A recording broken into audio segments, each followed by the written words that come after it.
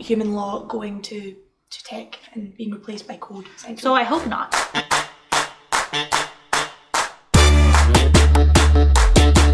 So I'm joined today by Angela Walch.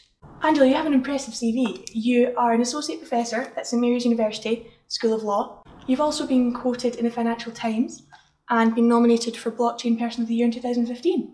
Yes, yes. Yes, and you're you. here in town in Edinburgh for Scotchain. I did my research, and a lot of your work is on the claim that blockchain can replace um, human law and governance with code, essentially. This might be true from a technology standpoint, but what does that mean for the real world?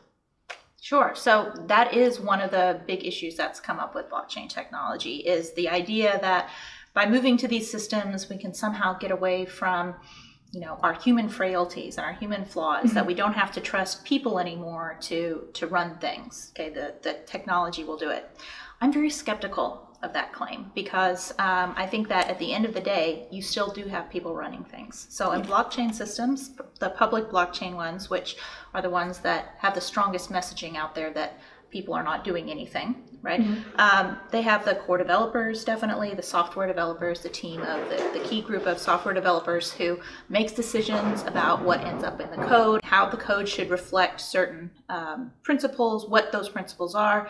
They make important decisions. The mining networks, the validation networks in these systems make important decisions. Mm-hmm. And I think by not acknowledging the power that people are exercising, you actually end up in kind of a bad position because power that is not acknowledged ends up being unchecked and undefined. And you are not then entering a world where humans are not exercising power and code is. You're entering a world where people are being power players, but no one's acknowledging it. So, does that not kind of defeat the purpose of these public networks? It kind of does. Yeah. um, yeah. Bruh.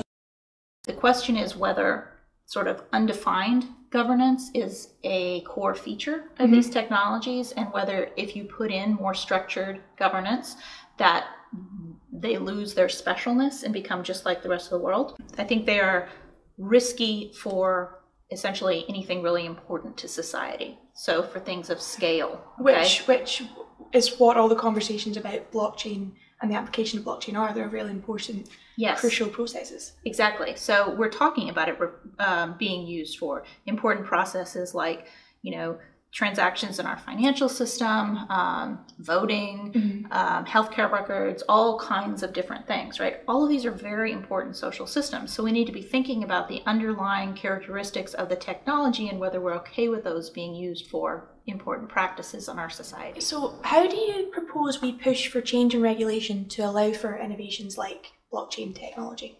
The difficulties associated with it are figuring out um, just what this innovation is and where all of its effects can be. Okay, so there's an education process for yes. the people developing the technology, um, the business community to figure out how they might use the technology, and then the regulators to understand it and see where all the ripples might be. If the technology does um, dictate that there really should be a change in the regulatory regime, you know, the ways I would do it are um, educating regulators about exactly why, right? Yeah. And, and, making the clearest case that you can, um, and it, and doing so in a way that acknowledges both the pros and cons of um, of your approach, because you're seen much more credibly if uh, you do. Right?